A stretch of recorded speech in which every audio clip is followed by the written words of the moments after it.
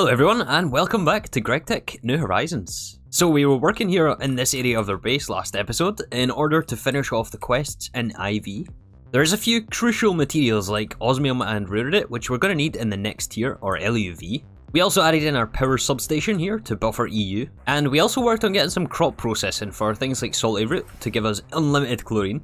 I noticed that the super tank which buffers chlorine is currently full, so we're going to upgrade this to the maximum tier. We're also going to add in some drawer upgrades here. So we replace the tank of chlorine right here. We're going to get a huge debuff from this, but that's okay. It's worth it. We're going to be able to handle so much more cleaning with this. I've also noticed here our drives are filling up a little bit of ore processing, so let's add a few more upgrades to these to start us off today as well. I got some more drives currently being crafted, but let's talk about some of our goals for this episode. The next major goal of the pack is to unlock the assembly line. I'm sure a lot of you guys will, will, be familiar with the assembly line. We worked with this in interactions and also in Omnifactory. Although from what I understand, it works slightly differently here. In any case, this multi-block is definitely not cheap, as as is becoming a common theme here, right? and the bulk of the cost comes with these assembly machine casings, which take 7 ZPM circuits each, and we need a total of 15 of these machine casings. But that's not all the cost involved with this multi-block. We also have the assembly line casings, which take two robot arms each, and this is going to be lots and lots of tungsten steel, tungsten, and graphene. So I'm not sure if we'll necessarily be beelining this thing, but um, more or less everything we're going to be doing is going to be in service of being able to obtain this assembly line. So we're going to start this slightly daunting task by at least unlocking the quest for it. We need the master quantum computer and the quantum processor mainframe. So we do have the LUV quantum computer available to us, or at least on autocraft. There's no way currently I know for a fact that we we can craft the required amount, but um, let, yeah, let's put in all the recipes and see exactly what we're missing here.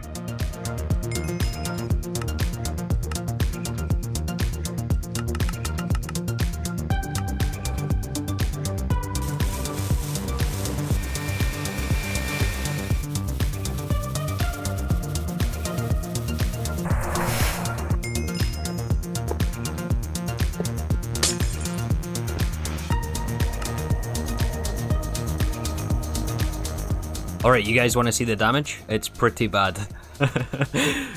As I suspected. So, starting with the assembly line casings, we need 11 of these things. This one, uh, to be fair, actually isn't too bad. We're just missing some polyphenylene sulfide, which is just a buffer issue. We actually have this fully automated. Although, looking at the recipe for these things, I mean, this does eat a lot of wafers, which I'm a little bit concerned about. But alright, what about the 21 Grate Machine casings? No problem at all. This is probably the cheapest part of this, so we're actually just going to order these right now. However, this is where things get a little bit uh, sketchy here. so let's try to order these 15 assembly machine casings. Uh oh This isn't what you like to see. Alright, we're going to start with a clean pin screen here. And this is going to be a matter of pinning things and picking up as we need it. So we're short about 9,000 carbon, call it 10,000 carbon, about 1,000 aluminium, some tantalum, steel ingots, energetic alloy, silicon rubber, fiber reinforced epoxy resin, Oh man, look at how many platinum wire that is. 30,000 fine platinum wire. We're short random access memory, nor memory. And I think that's about it, yeah. So 9 items we are short here. Oh boy. Alright, let's do this. Oh hey look, the grate machine casing's finished already. Let's call this our little project chest. Alright, first thing we're going to do is batch a whole lot of the silicon boules. That number that you saw there that we were missing is actually a lot higher since we don't have recipes for the random access memory or the NOR which we'll get to today. We're going to need a long-term solution for the wafers, but uh, to be honest, I don't really know what we should do about that right now. So let, let's tackle this carbon issue. So to fix the carbon, we're going to make use of all the charcoal we've been accumulating. We get charcoal out of our pyrolyse ovens here, and we have 1800 stacks in this one, and another couple of hundred in this one here. So all we have to do here is actually add some storage buses onto these drawers, and we'll make these high priority and extract only. Please tell me we have some channels down here. Mm, I think we're going to be short one. We need some more dense cable up till here at least. Alright, I fixed the channels over there with the storage buses. What we're going to do here is place a drawer for the output. And all of this charcoal we're going to send through a macerator first of all and into an electrolyzer. Oh boy, that is loud.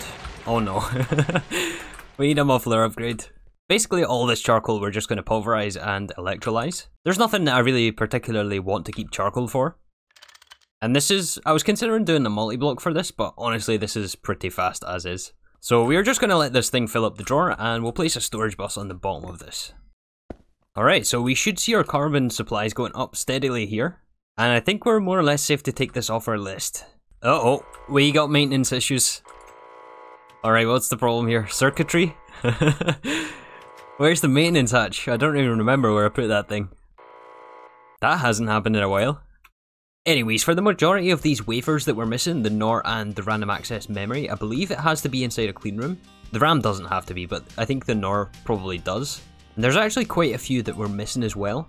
So rather than actually do it in their clean room and expand our clean room, we are going to build another one of these things. My favourite machine in the game, the processing array. So if you put any machine inside the processing array, it counts as if it's in a clean room. We just have to actually build the thing, and I think I'm going to put recipes in for, at this point. Like that. Oh yeah, we need the Lapotronic Energy Orb.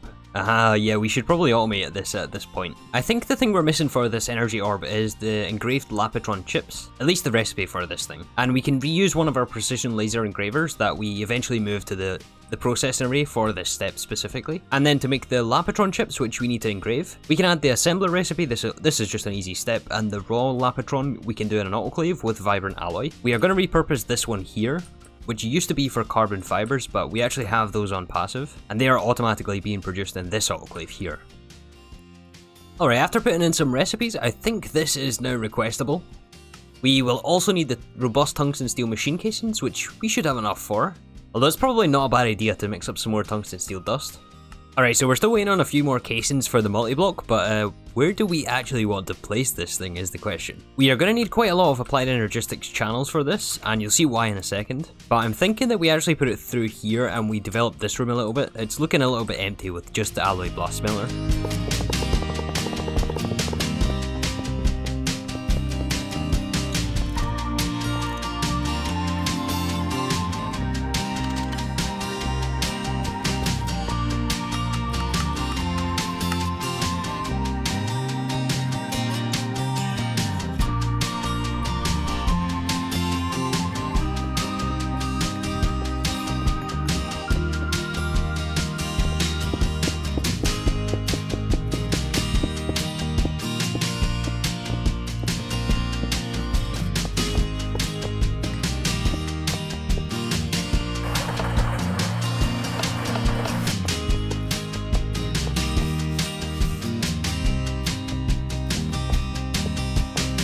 Alright, more on this setup in a second, but I did manage to get all of this processing array set up here.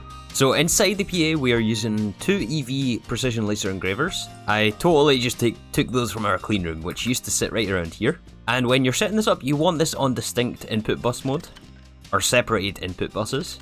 Since we want the laser engravers to obey the lens that the item is also in, so if you have that setting on false, then it will, I think, just pick any lens and you'll end up with a random item in your output slots. But yeah, basically all of these are just the flat interfaces, and each one corresponds to a different lens type. While I was setting this up, I did also add some extra patterns as well, like the central processing unit. We can make engraved diamond chips, power ICs which are used in a lot of the energy hatches, engraved Lapotron chips. But of course we do have our random access memory, and the NOR memory chip which uses Ender so all along the outside is the input buses, and this one here is the output bus, and this will take from the conduit and put back in the ME interface, which will complete our craft. Very basic setup, but yeah, yeah, it works really well actually. And we can upgrade this PA in the future if we need to. Currently we're running this at EV, and yeah, we just have the two machines in there at the moment. I think all we're missing now for the random access memory and NOR memory is the cutting machine recipe. Since the laser engraver produces the wafer, and those have to go through the cutting machine to make the memory chips. Alright, so that's two more items off of our pinned list here. As you can see, it has grown a little bit. So I thought since we are going to need so many circuits for this, and it does take some of the previous tier as well, yeah, if we double check the crafting screen here, it's somewhere in the region of like 1500 boards. And the requirement for circuit boards isn't going to go away after we craft this either. We need these basically all throughout the game. The problem with these things are is they are very, very slow in the chemical reactor. Right now I think it's this guy right here that handles all of this processing. Uh, we're currently doing all of these on demand.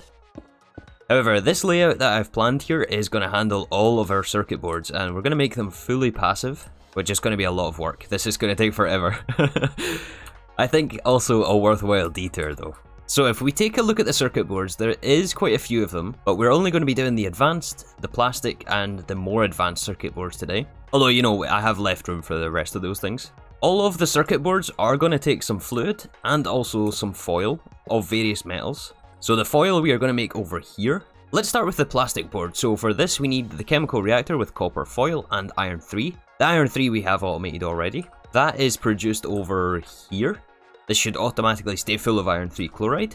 Which just leaves us with the polytetrafluoroethylene sheets, which I think we're already producing, aren't we? Yeah, those are being solidified right here, so we have those on passive already. Which just leaves the foil, actually, which is what these bending machines are for. So I've ran up some HV power, this is a high amp transformer going into 8X al blue alloy cable. We have an interface here which is going to supply our copper ingots.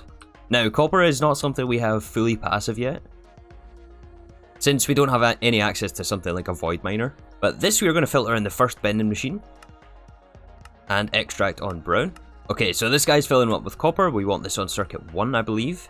To make copper foil, we have to bend it twice, so we have to go once into the copper plate, and then one more bending machine into the copper foil, which is why we have two pair. It would also help if I plug these machines in. Oh, and these are going to be very loud. Oh no. we need to get mufflers for all of these. So the reason we have a drawer in between as well is I want to be able to buffer the plates, the plate form, since we're making them here anyway, we may as well have them buffered and have them in a storage drawer. So these are automatically going to be sent to the bottom side. That will buffer in the drawer. I'm not sure if we want to keep 512 plates. Although, hold on, they didn't add the storage downgrade in the new patch, did they? No. No, we still don't have these things, unfortunately.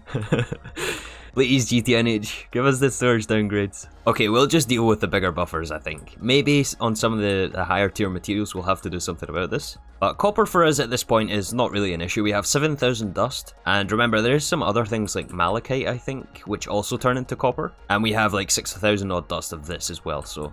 So we're going to have a conveyor module for imports. That should pull the plates into the second bending machine. We want this also on circuit 1 and plug it in.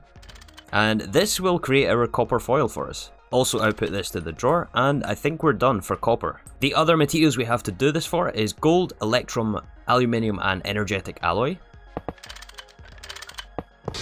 Like so. Yeah, one of the solutions that I, I saw some guys in the Discord using actually is using these 2x2 drawers, which don't hold as much obviously as the 1x1. So the 1x1 by default holds 4096, which is going to be fine for copper, but for these ones right here, we're just holding, I think it's 1024 that these things hold. Although that's probably a bit much for energetic alloy right now, considering we definitely don't have the production of energetic alloy dust or ingots passive. And in fact, energetic alloy is one of the items on our pin list here. We're missing like it's somewhere in the region of 4,000. The majority, I think, is actually for this process anyway. So yeah, from what I can tell for the circuit boards, there is two more foils that we need. Like, for example, neutronium and niobium titanium. But those are so far off that I'm not, I'm like not even going to worry about that right now.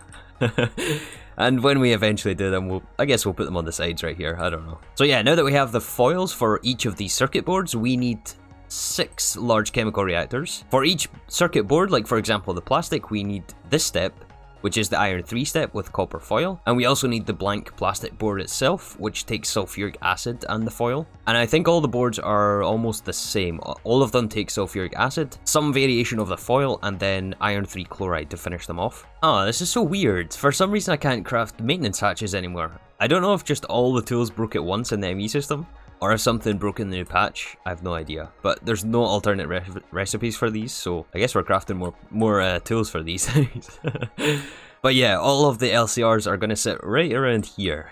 And I'm thinking something like this can work for us. So right now we're just doing the three boards. I think we got all the I.O. set. We have two input buses, an input hatch, and an output bus for each one. And I'm also thinking that we run these at MV since they will be passive and we don't have infinite power yet. I do have some plans for our power. Do have to increase our power production, not just our power storage. Although I didn't check, can we do all of these at LV? I think we can, right? Yeah, I'm sure all the recipes can be run at LV, so we'll run them all at MV, I think. I think the rest of these just have to be casing blocks. Anyways, we're going to need some applied energistics connections down here, so I have added a fresh P2P channel right here. And I've also run an interface and a fluid P2P for each. I think we're going to group them in twos. And the reason we have such awkward space in here is just because of the the length of this this part right here. I don't really know how else to lay them out, and also because of the chunk boundaries. There is a chunk boundary right here, and I would rather keep them off the chunk boundary. So, to set the filter, we're going to need a cell of sulfuric acid. This is actually running low a little bit. Mm, we may need, we this is actually just a byproduct of fuel desulfurization. We may need to set up a specific LCR just to make sulfuric acid. I think we should be able to do that with sulfur, right? Yeah, sulfur, oxygen, water. But not today. I think we... There's too many things for us to do today. Oh yeah, we'll also need the iron 3. So we have to decide here. I think that all of the top LCRs are going to take the sulfuric acid. We can filter this in on brown channel. This should fill up with sulfuric acid, same for all three. And the bottom LCR will receive the iron 3 chloride, which has chlorine in it for some reason. That is why you set the filters before you put place the P2P down. Alright, we got the fluid set. We now need to filter in our copper foil, which is not in our ME system. I think we're missing storage buses right here. Assuming we have enough channels. This is taking a while. I'm not sure we do. I've been actually having troubles with the ME network recently. And that it takes just forever to calculate anything. And it results in some of the uh, some of the channels around the base just disappearing. Oh, there we go. We got the channels online now. These are going to be high priority, and I think we'll leave them on bidirectional. Alright, so now that should give us copper foil. We also need the Teflon sheets. And because we have ULV input buses, it means it will only buffer one stack in each. And we're just going to put one item in each of these buses. And extract on brown. Alright, so that should be all the I.O. set. We got the fluid and the two input items for these. I think all we need to do now is hook up the power and filter the rest of these things. Aha, we have for circuit board automation complete. So right here we are buffering more advanced, advanced and plastic circuit boards. And then on all of the output buses we have the item detector cover, which will only turn the machine off if the output bus is empty. And then from the bottom output bus it goes into the drawer controller which just sits right below these drawers right here. So yeah, basically, so long as we have the foil and also the solidified boards, which we make right here, we are going to have circuit boards for us, and no more waiting on these things, because those things take forever, and we are still just running these things at MV. So I actually took the power here from this IV line. That is transformed down to HV and then to MV on each block of the LCRs right here. So yeah, it's actually a pretty simple setup here. I don't think we're going to have to modify too much with these. We may have to overclock in the future. But the biggest thing with this is being able to produce enough foil, mainly foil. We'll keep an eye on the sulfuric acid, I don't think that's going to be a problem. And the epoxy, I don't think is going to be a problem either. Epoxy production, I think, is pretty robust for us. I think it's made over here somewhere. Yeah, right here is epoxy. Time will tell, I guess. Time will tell. but yeah, let's, um... Oh, we've actually stopped here. Uh, what is the problem here? We're out of foil? We're not out of foil, we have plenty of foil here. Mm, there's something weird going on with the AE system. I've had this blinking issue all day. Uh, I really don't know what the problem is either. We're definitely supplying enough power to this thing. Okay, after some digging, let me see if I can show you, you guys what is going on here. It will randomly occur where some of the nodes here actually appear offline, even though there is power and channels available. Right there, you see this? This top interface here is offline, even though all the other ones that it's connected to is online. And now randomly it just goes back online again. So the only thing I can think of is our controller is now in a chunk boundary, which was a bit silly. I didn't realize I'd actually done this, to be honest, when I rebuilt this. So I may be rebuilding the controller today again. Again. I'm not sure. Let's uh, let's put that off for now though. We can deal with a blinking ME system, but not long term. This is going to have to get sorted out. Checking the recipe again for our machine casings that we checked at the start of the episode. We are also missing silicon rubber and fiber reinforced epoxy resin. This epoxy resin sheet will effectively be fixed once the buffer catches up on the circuit boards over there. But the silicon rubber is something completely different. So I think... Oh, we have channels offline as well here. Uh, and now they're back online. yeah, look, this one's offline, this one's online. Yeah, all we have to do, I think, for this is increase the level emitter. We'll make it like 512 silicon rubber sheets. We are also missing raw carbon fiber, which we produce here. I think this should be an easy fix, actually. We can replace the storage bus that we have on here. And instead, we'll make it a level emitter with a machine controller attached to it. And I think this also means we'll have to send this back into our drives as well. So this is extract on purple. We need to filter purple inside our interface down here. And we'll set this level emitter to like 6000 when we're below 6000, it will emit a redstone signal and turn on the machine again. So I put the mixed energetic alloy through our blast furnace here. I think it's 5 seconds the way we have this configured. I'm actually really, really liking the look of these HSS S coils. It's really actually grown on me. But once these are cooked, it's going to make all of the circuit boards. In fact, you can see the LCR is now turned on. But the next thing I want to look at is making more blast furnaces. We are going to need lots more blast furnaces. There's absolutely no way we can get all of them that I would like to get today. So I think these are the materials we're going to settle on for, at least for the time being, to put on passive. We're going to do steel, aluminium, titanium, energetic alloy, vibrant alloy, pulsating iron, and tungsten steel. We may switch out pulsating iron with black steel or something, mm, I'm not sure. It's it's kind of a toss up. There's so many materials we have to put through these things. the issue though is the coil blocks, right? Because the tungsten steel I think has the highest requirement. Tungsten steel requires at least 3000 heat capacity. So we're going to have to do at least nichrome or above yeah, nichrome or above, it would be really ideal if we could get something like tungsten steel coils, or even HSSG to fill out this whole block. Okay, after some calculations, we need a total of 76 coil blocks in order to fill out the, the amount of blast furnaces that we have laid out here. 76 coils is 152 ingots of, I guess we're going for HSSG. We're apparently one tungsten dust short. We can get that. And I guess we'll also need 76 ingots of molten tungsten steel as well, in order to make the coils. How long does it take for us to cook at least one of these things? 90 seconds per ingot. That's over 3 hours of blast furnace work to do. Actually, you know what? We may as well use two blast furnaces. I'm sure we've got nitrogen in this one as well. This is only 45 seconds, so yeah, it's going to be significantly less than 3 hours, but still, a very long time.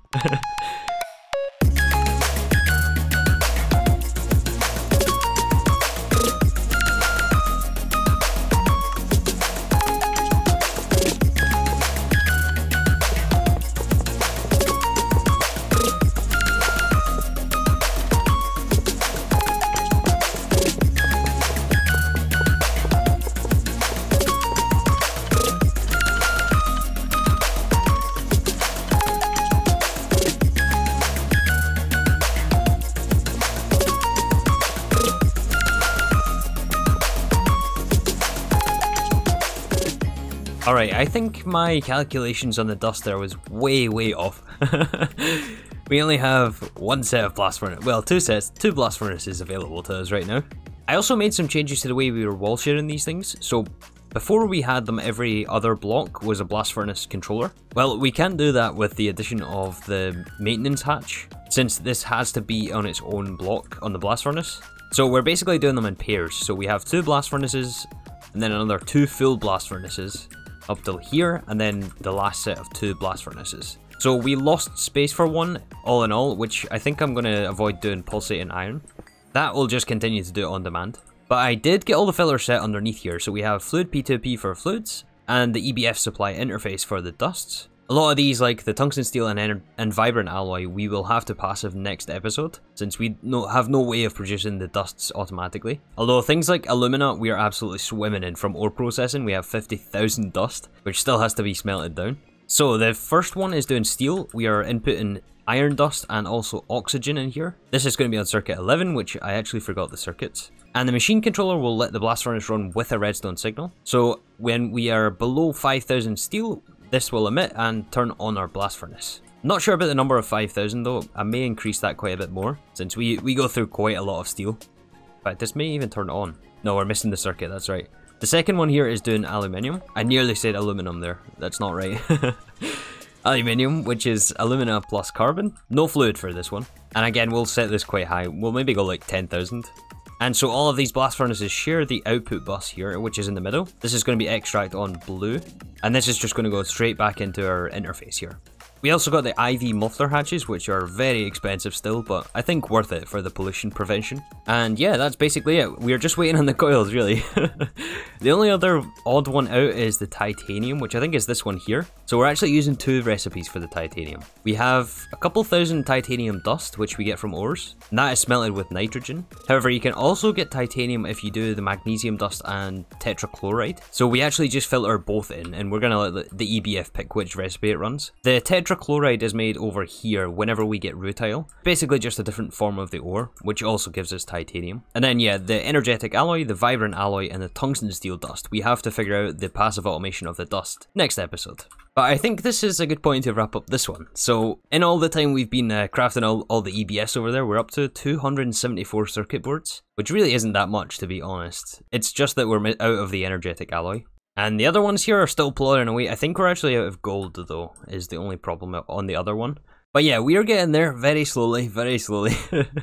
but all this infrastructure is necessary, and it's going to help us in the future as well. Thank you for all your comments last episode, by the way. I It's good to be back after after the little week off that I had. So yeah, thank you once again for watching, and I'll see you all soon for some more GregTech New Horizons.